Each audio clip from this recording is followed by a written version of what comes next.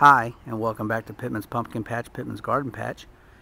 It is April 12th, 2015, and this is the first video of the 2015 growing season for spring and summer. Uh, well, it's been a long time since I've been on. I've been cameraless again for quite a while, but now I got one back. And, uh, you know, I'm going to be do taking you on a tour through my experiences throughout the growing season and um, showing you all the tips and tricks and things that I, I know that I've learned so I can pass it on to other people. And, um, you know, just share my joy and passion and love for gardening and growing my own food and sharing some of the products and things that I, uh, that I use and my results and, and, and my failures too. Because let me tell you, I, I have failures all the time. And um, uh, for those who don't know me or those who or just getting to, to know me, I'm an elementary school teacher here in the state of Virginia, uh, near the ocean.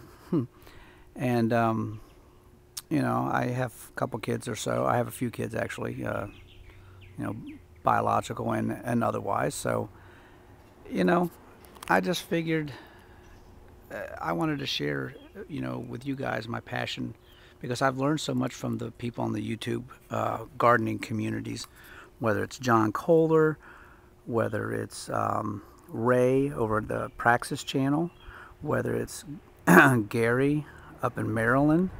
I think his last name is Puchek or something like that. I, I apologize if I'm mispronouncing it. I'm trying to remember the uh, spelling of it. Um, I've learned other things from, you know, uh, across the pond, as we like to call it, from people over in England a gentleman who has an, uh, an orchard of apples and pears and plums and all kinds of things. And I've asked some questions about uh, apple trees and whatnot. And uh, gosh, I mean, people out in California, it, uh, CaliKim, and uh, another gentleman. I'm trying to remember. I'm just new to his uh, new subscriber to his channel. Um, he's a gentleman. I've asked some questions about pruning apple trees and whatnot, and I, you know, I just find this whole YouTube community uh, for gardening so fascinating and so interesting because it's it's got a lot of nice people out there who are just willing to help and and uh, share their experiences and their failures and everything, just like I am. And you know, I just want to be a part of that because I, my passion for gardening and growing my own food and becoming more sustainable is like that of many others in the garden community. Some do it for just for fun. Some do it just for the health benefits. Some do it for the, you know, getting off the government grid, you know, getting out of that kind of rat race. And some of us do it for a combination of all those things and a few, maybe a few other reasons that we don't know about, you know. But whatever your reasons are, get into gardening. It's so therapeutic. It is so healthy and beneficial for you. Uh, you know, John Kohler likes to say, um, do the best you can. Basically, he says good, better, best, or something like that you know, with all the resources that you have, you do the best you can with what you have. And uh, and that's what I try to do. And and so, come join me on this journey through my garden. And if you have any questions, just post the comments and everything, and I'll be happy to answer them. And thank you to everybody in the uh, YouTube garden communities. Um, all the videos and everything have taught me so much you guys continue to answer my questions. Again, whether it's Praxis, whether it's John Kohler, whether it's Gary, whether it's CaliKim, uh, you know, and, and, and a few others as well. And again, thank you so much, and I just want to be a part of that as well. So without further ado, let me take you on a tour of what's growing on here. And um, like I said, it's April 12th, 2015, and let's get things started. Okay right here I have um, blueberry bushes, eight blueberry bushes in these black fabric pots. These are smart pots and I love them very much. But they have lots of different other kinds of fabric pots. Look them up online, do a Google search. I enjoy them a lot. Um, they are in full bloom. Uh, most of them, I think seven out of the eight are in full bloom. But there's so many flower blossoms on these things. And uh, oh, before I go any further, I am deathly afraid of bees and wasps and hornets and yellow jackets. I know. Why are you gardening if you're afraid of those things? Because you need those things to help get you the food you want. Yes, I understand it. It's a love-hate relationship. you know, so um, let's see if I can't. And my vision is not very good. I'm legally blind and can't drive a car and whatnot. So, but if if I can do it, being a teacher and being legally blind, if I can do it, you guys can do it. So don't be afraid. Get in there and do it. So anyhow, um, and I'm just on a rental property anyway, so everything's got to come with me. I'm hoping to get some acreage in a couple years or so where I can start permanently putting things in the ground and really get my gardening into something even bigger. More apple trees, more plum trees, peach trees, whatever, you know, just start getting more perennial things involved. So anyhow, I don't want to keep rambling. I got so much to do because this is my first video of the year. Um, so here are all these flower blossoms. And this is very cool because I've had these um, blueberry bushes um, but gosh, I think this is my third growing season. And when I bought them there, I think they were already three years old, three or four years old. So these are just now coming into their, getting into their really productive years, I believe. Because they say, oh, around five or six years old, they start really start to put on a lot of, you know, fruit for you. And this particular variety right here, um, this is a dwarf variety. Sorry for my shadow. Um, uh, this is a dwarf variety, and last year it did not produce one single flower that I can recall. I know it didn't produce any fruit. Not one single flower, if I remember correctly. And this year, just look at it. Boatloads and boatloads of flowers all over this thing. And I am just happy as can be. And other things that have, uh, you know, they're just putting on so many, much more flowers this year. Just crazy, you know. And a couple days, a day or two ago, um, my wife and I came out here, and I, you know, I can't see very well, and I, and I got close to things, and I could hear some buzzing, and that, of course, backed me off from the plants. And I asked my wife, I said, I said, well, how many, you know, bees or stuff going in? Are they landing on the flowers? Are they doing this? Are they doing that? Because, you know, I can't really see all that good. And I don't want to get too close. and uh, she's like, oh, yeah, there's some bumblebees in there, and they're getting in there, and they're doing their thing. And I'm like, all right. So that got me pumped up and excited because I'm like, okay, give me some fruit this year. Give me more fruit, more fruit. Of course, now I got to protect them from the birds if everything happens uh, right. I'm going to share one tip from, for you right off the get-go. Self-pollinating plants. Here's tip number one for you. Self-pollinating plants. And I learned this from other people, so it's not like I, am a rocket scientist and I came up with this all on my own. But I had um, those plants that self-pollinate, whether it's tomatoes, uh, peppers, uh, most blueberries and things like that, they are self and strawberries. They are self-pollinating, which means they'll they have all the male and female parts in the flower itself. They don't have separate male flowers or separate female flowers like pumpkins do, for example.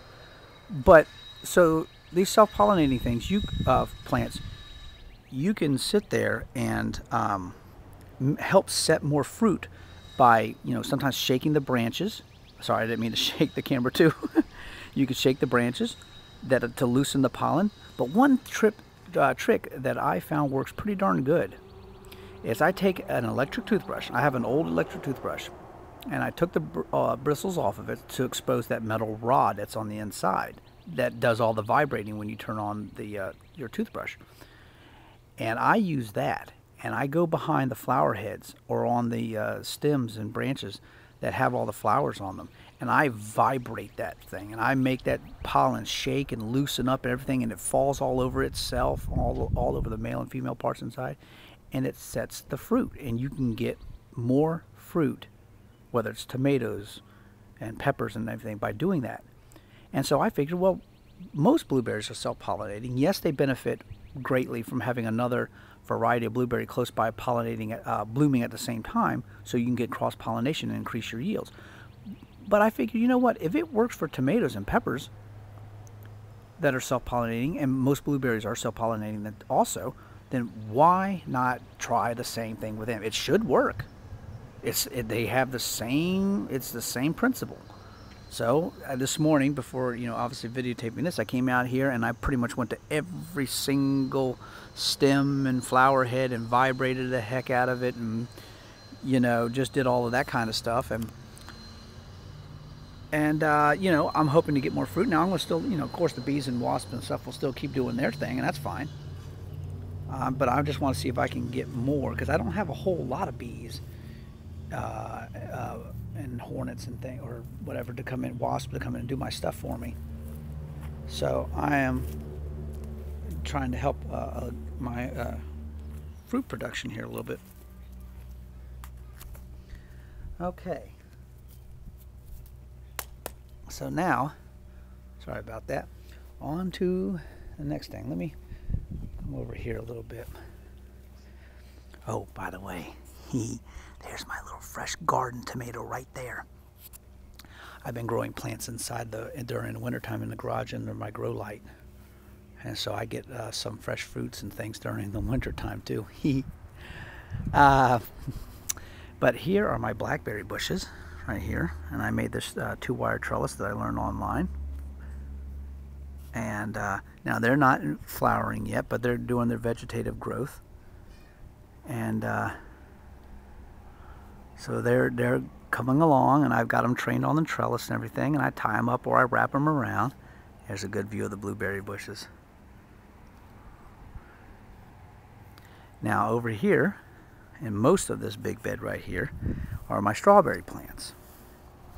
And I got a new variety this year, um, Camarosa strawberries. And look down in here. There's some strawberry flowers right there. Okay. Just a few to start off the growing season. But see, I can come out here and vibrate those too and get them to self-pollinate. And if the, if the conditions are right, if the plant is ready to accept fruit, then, you know, it'll do it. Now, of course, these are still young, so these probably won't set. You know, these are probably probably similar to what pumpkins do. Pumpkins will put out their male flowers a little at a time, but mostly the males will come out first. And I think that's to kind of help get the bees to start coming to the flowers, get them used to coming to the, the, the pumpkin plants. And then it'll start getting the females coming out a little bit later. And I think maybe the, uh, these strawberries might be doing the same thing by putting out a few little flowers that they know probably aren't going to pollinate, but just to get the bees that start coming in, start attracting them, a little bait, if you will. And I got a few other uh, varieties of uh, strawberries in here, All Star. They don't look very good as you know right down here as, as well as the ones that I've had more established since late October, early November of last year. But I've I had some space and I wanted to try other varieties too. Now when we talk about failures, here we go. Pepper plants. This year I'm having a heck of a time with pepper plants. Last year I had a bumper crop, amazing. The pruning techniques that I learned from Praxis, uh, from Ray over the Praxis channel, made an enormous impact on the production that I got. It was insane how much I got. So I'm going to share that tip later on, or you can just go over to uh, Ray's uh, channel at the Praxis. Was it 555712, something like that? Sorry, Ray. but um, I've been trying to grow all my seeds, most of everything indoors, you know. And what happens, of course, when you grow indoors is you get fungus gnats. And I've been combating those things for two years now, maybe three seasons. And I just have a heck of a time with them. And what they do, they lay their larvae down inside your uh, soil, and then they hatch and they go down in there and they're feeding on the compost and all the organic matter that you have in your soil. But also, then they start eating the root hairs of your plants, your developing plants, and then they kill it, and they or they and they stop it from developing. And I'm just like, uh, and that's what they did. Between that and I had a few mice problem. Mice would go in there and they would eat my watermelon seeds. They would eat my pepper seeds and so I got rid of the mice. and uh, but the pepper, the damage is done with those fungus gnats.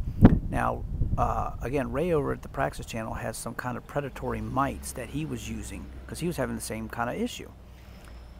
And so I'm going to further research what he has, uh, what he was using, because I talked to him just the other day, and uh, he said that, that nope, he's only seen one fungus gnat flying around since you know, introducing those predatory mites in there. So I'm going to look into using that for my uh, next year's um, seeds and everything so that I can keep more of my pepper plants. Because look at this. that's after about two months of growth.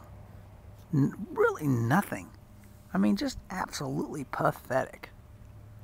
Now that one right there might slowly develop. It looks like it's getting a new set of leaves, but the rest of the stuff are going to be useless. These two, this one right here and that one right there, store-bought. And even they look pathetic. I don't know what's going on, but uh, they're not looking as good as I would like them to be. Not as good as I can definitely grow them myself. But you know what? It's That's one of the failures. New additions to the garden. First time growing for me. And that's the thing I love about gardening. You can grow new things and it kind of rekindles your spirit, rekindles that, that passion for growing. Here are my onions I'm growing for the first time. And these this bed here and that second one, one right there, full of onions. And this one's tipped over a little bit. Oh, but I can feel I can feel it getting a little established in there I can feel it. The roots are starting to take hold. And uh, anyways,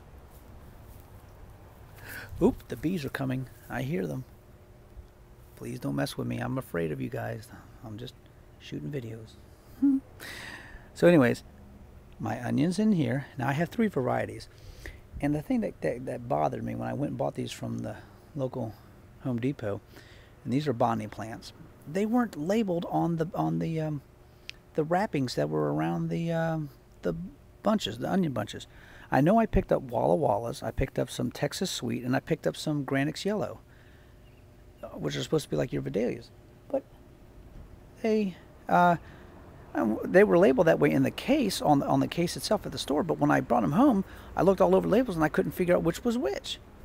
So, and you notice these ones on the far end there, that half of the bed. Those when they sat in the bag in the garage for like three or four days, all of them did actually, and they lost that that particular batch lost its greenery. They all turned milky white, kind of a milky brownish white color. So I was like, are they dead? Are they no good because they lost their green uh, leaves? And um, a couple of people that I asked about it said, no, no, no, they should be okay. There should be enough energy left in the bulbs that. Uh, that they'll send up new leaves. So, you know, so I went, as long as you got the root hairs there. So, and they were there, so I planted them anyways, and we'll see what happens. See if they start to get their green leaves back in excuse me, in a week or two. Now, the, of course, these others down here, they have their, still have their green, so theirs should be good to go. And, uh, like I said, here's some more onions all in this bed here, too. Now, I, I, I know this is a waste of space. I don't know what's going to happen. But this one bed, I just like, I couldn't figure out what else to put in it. I didn't have anything else. The, uh, the fungus gnats killed so many things. I just didn't. I had maybe one watermelon plant that basically survived and looked like it was going to make it. So I that's a Jubilee variety, which was like these are like two-year-old seeds and uh, so I put that in there. I may put one other strawberry, uh, one other watermelon plant in there, and I'm going to contain it, all the vines in here, because watermelon plants will take over fast. But I had a pretty good crop last year for my first time trying watermelons, uh, and I had one that actually tasted really great. So we'll see how it goes. If that doesn't start to do much, then I'll find something to put in there. Over here, Oh, look, I left out my, oh, I left out my drill and my drill bits. Isn't that nice? Hmm.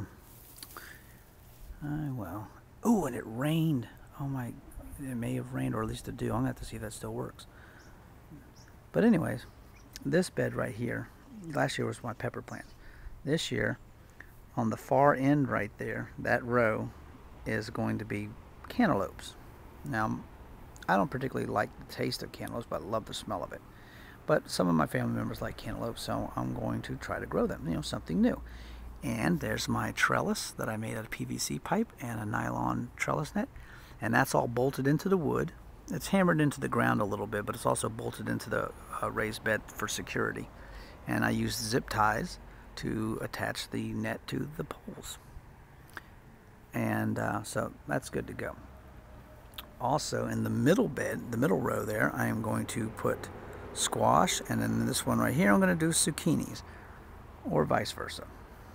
So over here, uh, in this bed, there in the middle, there's oregano from two plants. Now I even had to cut it back in, um, a couple days ago.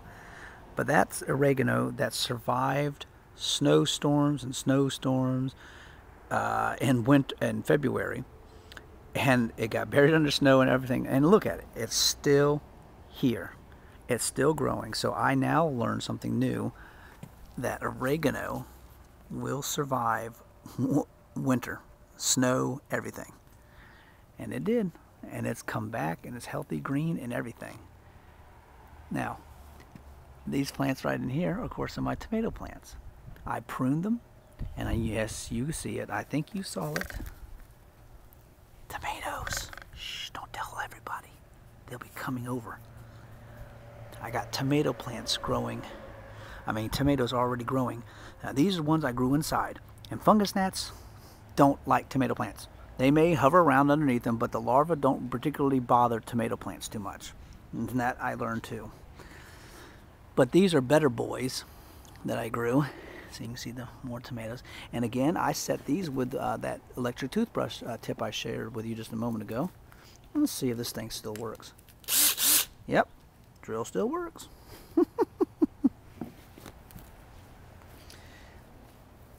So what I did, here's another tip to uh, do is I buried these very deeply. Now I could come in and add more soil in here to bury the stem up here so you can get more uh, roots develop, developing. Because that's the one thing about the tomato plants, if you didn't already know, that all along the stem, there's the little hairs there and you can get, you bury that under soil and you get more roots. And that's going to help your plant in the long run, especially during the heat. See the tomatoes growing? Yes, sir. Now, I'll swing over here because this, all those are better boys, but this variety right here, this is my Amana Orange. Going to be like a pound and a half, two pounds of uh, tomato. And I only got one seed to germinate out of the, the whole packet. That's horrible odds. But this thing's already producing fruit. And it takes a long time to develop. And again, there's the flower heads on that plant. And what you would do is you just come right up here with your electric toothbrush and you just vibrate it. And it shakes that pollen loose and it helps to set your fruit. And you can come in and tap and whack like that. But I find the electric toothbrush really does a good job on it. Okay. And what I plan to put in the rest of this bed's in here uh, or cucumber plants. I have Ar Armenian yard-long cucumbers and I have some lemon cucumbers I'm trying. I don't particularly care for cucumbers too much, but my kids do and my wife does. So I figure share. That's a lemon balm plant that you see straight out there. Okay. Look at that oregano. and you can just come in there and brush it and sends the smell in the air. Yep. And then smell your hand it just makes you want to go get a big bowl of spaghetti. So anyways that's just two plants. Oh do I see weeds growing in there? Oh yes I do. Look at you. I see some grass. Gotta go down to the base. Sorry guys. Ah no, I think I got most of it. Anywho over here in this bed more strawberries. My three and a half year old son Luke, he loves coming out here in the garden with me. He loves eating those strawberries. And you see how these, you know, they're coming along. The spring's waking them up. And again, these are Camarosas. Uh, so this is a new variety for me. Usually I do Chandlers, but I, they didn't have that available for me this year. And a couple of those plants over there in the far end you see are all-stars. And you see how kind of puny they are. Uh, but uh, it is what it is. okay. Well, I wanted to save my new additions for last. But uh, I, you see that what I got there? I was going to start making a brand new big humongous bed that I was going to do. But uh, since I rent the property, they, eh, they're on me to back off of my gardening but uh, we're kind of coming up with a compromise. So I may have to scale back my production. But I want to show you the new additions to my family here, my garden family. I have two apple trees. And I have the pots inside, 45 gallon pots I'm going to put them in for at least two, maybe three years. And then when I hopefully get my own property, I'll then transplant them out during the winter time, late winter time, and uh, get them into the ground out of those 45 gallon pots. But they're in three gallon pots right now from the nursery and I'll transplant them out uh, in a week or so. There are This one right here is a Fuji apple tree. Okay. And the second one over to the left there, or the furthest one away, is a Honey Crisp apple tree. And I hear they're one of the uh, most tastiest apples you can get. Now I've tried a couple, one, a couple in the store and they were very juicy.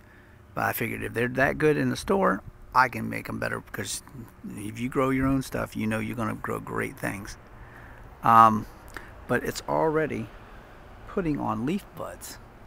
The, the green, it's already starting to, to pop out. Let's see if I can zoom in a little bit on that. See there? And I've already come out and done some pruning on those things.